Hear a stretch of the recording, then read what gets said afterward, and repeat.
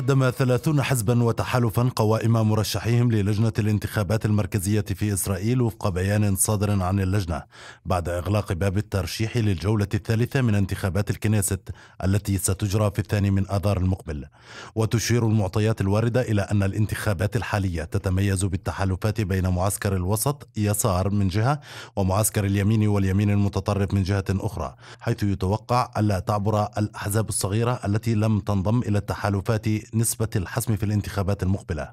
كما وقدمت القائمة المشتركة قائمة مرشحيها للانتخابات البرلمانية وهي القائمة التي تمثل المجتمع العربي في الكنيست.